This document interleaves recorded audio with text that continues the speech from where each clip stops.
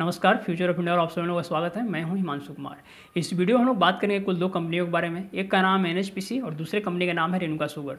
हाल फ़िलहाल में दोनों कंपनी के क्वार्टर टू के रिज़ल्ट आए हैं। एक कंपनी का रिज़ल्ट अच्छा आया है। इसके बावजूद उस कंपनी के शेयर प्राइस में कुछ अच्छी खासी तेज़ी देखने को नहीं मिली है। वहीं दूसरी कंपनी है जिसमें इसके रिज़ल्ट में थोड़ी गिरावट देखने को मिली है, लेकिन इसके बावजूद उसके स्टॉक में गिरावट देखने को नहीं मिली है। बेसिकली इस वीडियो में हम समझेंगे कि दोनों कंपनी कैसी है, लंबी अवधि के लिए इसमें इन्वेस्टमेंट करना ठीक रहेगा नहीं। चलिए शुरुआत करते हैं एनएचपीसी से। एन एच हम लोग जानते हैं कि गवर्नमेंट की कंपनी है और कायदे से देखें तो यह मिनी रतन कैटेगरी की श्रेणी में आती है। एनएचपीसी पावर सेक्टर से बिलोंग करती है पावर का जनरेशन करती है और उसको सेल करती है। आसान भाषा में गए तो बिजली बनाती है और उसको बेचने का काम भी करती है। लेकिन अब ये कंपनी सिर्फ़ पावर सेक्टर से में बिलोंग नहीं करती है रिन्यूएबल एनर्जी के सेक्टर में भी उतर चुकी है। इसके बारे में तफसील से बात होगी। लेकिन अभी बात कर लेते हैं कंपनी के हालिया रिज़ल्ट के बारे में।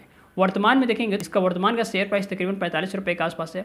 अच्छी बात यह कि पिछले दस पंद्रह सालों से इस कंपनी का शेयर प्राइस जो एक रेंज बाउंड में घूम रहा था, जिससे इस कंपनी के इन्वेस्टर उब गए थे, उन्हें थोड़ी बहुत खुशी ज़रूर मिली है क्योंकि इस साल के शुरुआत से इस कंपनी में अच्छी खासी तेज़ी देखने को मिली है। इस साल की शुरुआत से देखें तो कंपनी का जो क्वार्टरली रिज़ल्ट आता है हर तीन तीन माह पर, उसमें अच्छी खासी ग्रोथ देखने को मिली है।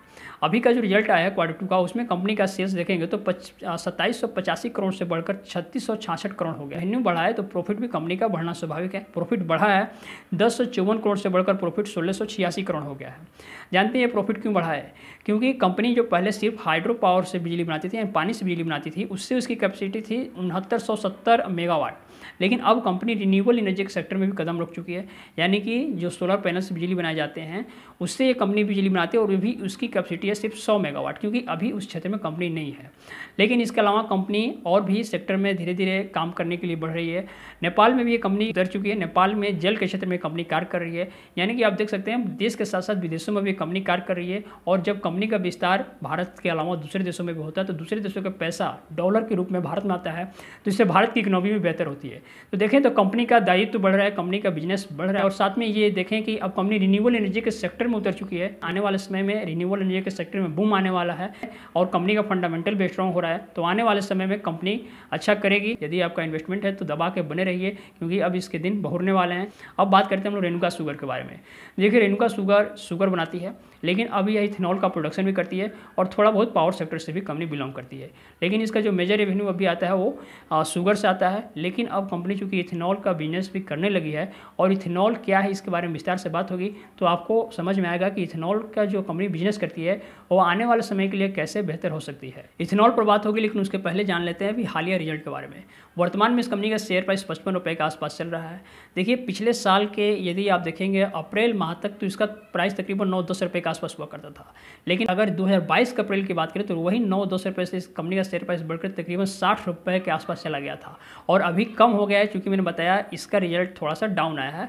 रिज़ल्ट डाउन नहीं आया प्रॉफिट हल्का कम हो गया है, जिसकी वजह से। हालाँकि ये सब शॉर्ट टर्म की गिरावट होती है। देखिए, किसी कंपनी के क्वार्टरली रिज़ल्ट अच्छे आने से या बुरे आने से कंपनी का फंडामेंटल पर कुछ ज़्यादा प्रभाव नहीं पड़ता।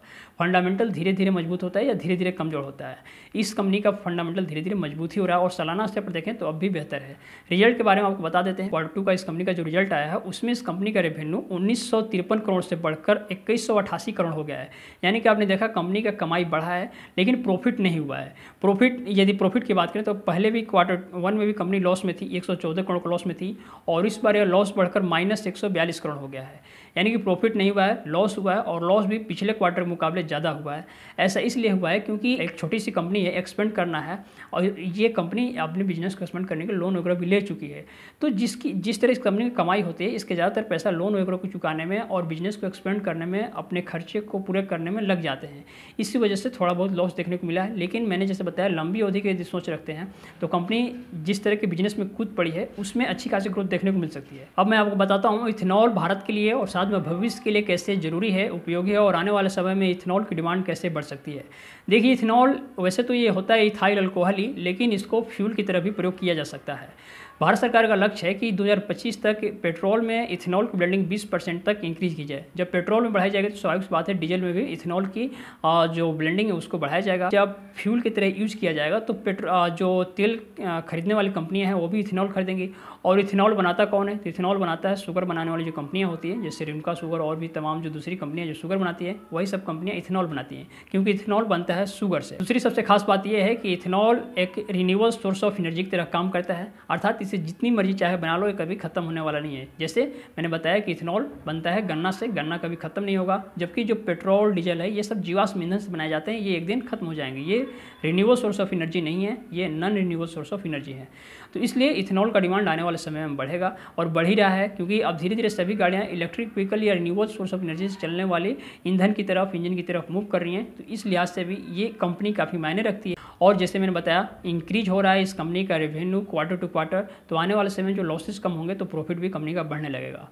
तो ये बेसिकली दो कंपनी के बारे में जो क्वार्टर रिज़ल्ट आया था और कुछ बातें थी जो मैंने आपको बताई। आप अपने विवेक से सोच समझ कर यदि इसमें इन्वेस्टमेंट करना चाहते हैं तो कर सकते हैं कंपनी ठीक है? और इस कंपनी का फ्यूचर भी ब्राइट है। यदि आपके पास शेयर बाज़ार में इन्वेस्टमेंट करने के लिए डिमेट अकाउंट नहीं तो मैं आपको रिकमेंड करूँगा। आप पेंजल लोन के साथ अपना फ्री डिमेट अकाउंट ओपन करा सकते हैं। लिंक डिस्क्रिप्शन में दिया गया है। मिलते हैं नेक्स्ट वीडियो में। तब तक के लिए धन्यवाद, शुक्रिया।